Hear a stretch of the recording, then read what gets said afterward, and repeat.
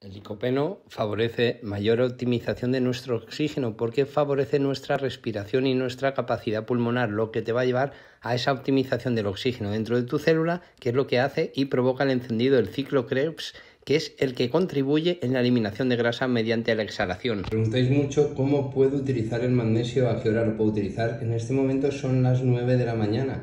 Pues lo que hacemos es, como vamos a tomar ahí más tomas porque tenemos más desgaste, lo vamos a añadir en nuestro eh, gazpacho que hemos hecho para desayunar.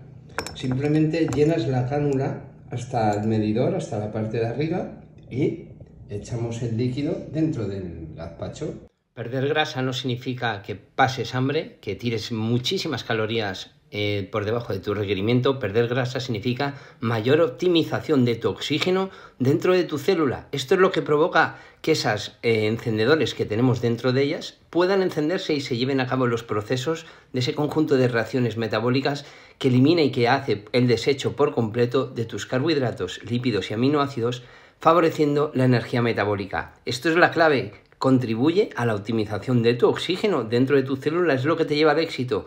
No pierdas tiempo, no pases hambre y no limites comida que te guste, sino acóplala y ajustala a tu requerimiento calórico y sobre todo genético de cantidades que requieres para no sobrepasar estos valores y para entrar en estos procesos de activación. Sigue mi cuenta, sigue mi canal y aprende a saber cómo equilibrar la grasa y el músculo en tu cuerpo sin ningún tipo de problema y sin hacer cosas que te van a llevar al fracaso.